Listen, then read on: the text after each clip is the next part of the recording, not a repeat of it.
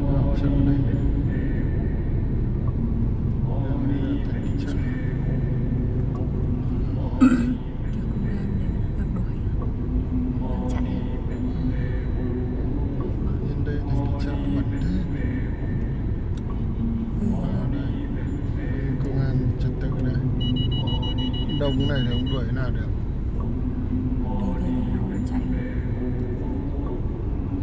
vỉa hè không ngồi vậy ôi rồi thành chỗ này ngồi trên vỉa tự nhiên người ta trở thành cái chợ ở đây. Chợ nó hình thành rất tự phát.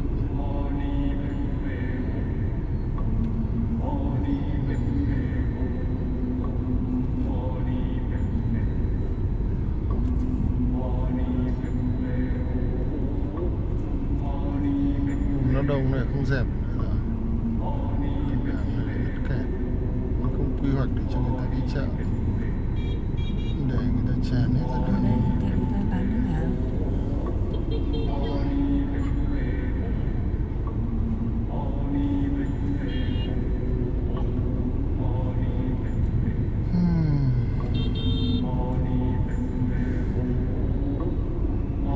đây là cái anh nghĩ là có thể cái đường kia. Đường láng nó làm xong người ta hết chỗ. Vâng bây giờ nó chuyển hết ra đây.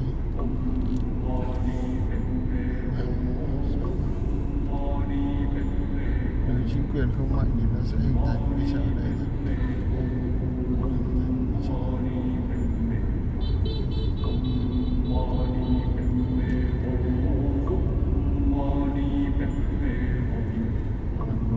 cuộc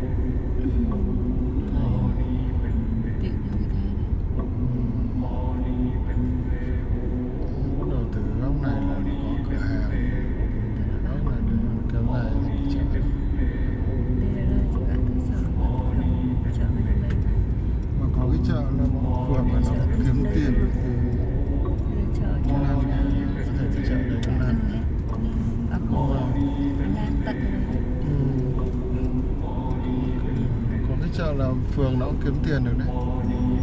Hàng tháng nó nộp tiền như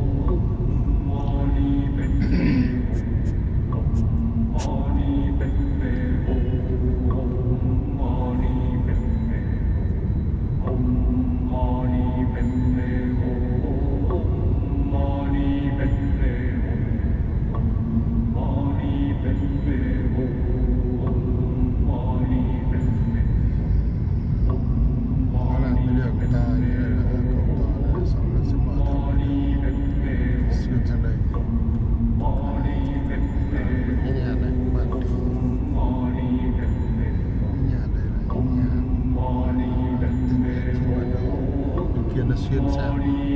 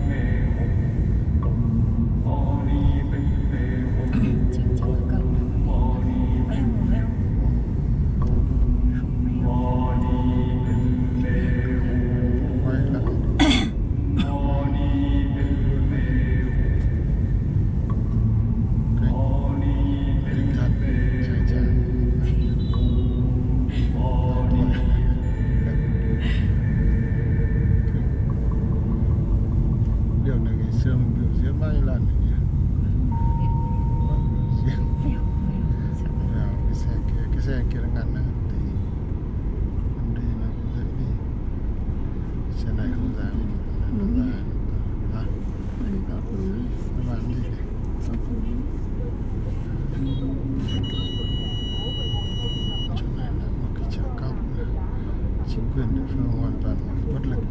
Chưa đang chợ bây giờ đỡ rồi đấy. Ừ. chưa đang chán rồi.